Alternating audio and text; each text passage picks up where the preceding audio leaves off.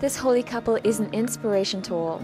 Their feast days are May 15th and September the 9th. He is the patron saint of farmers, and call on his wife as an intercessory tool for headaches. Meet Saint Isidore the Worker and Saint Maria of the Head, your World Youth Day saints. Saint Isidore the Worker and Saint Maria of the Head, pray for us.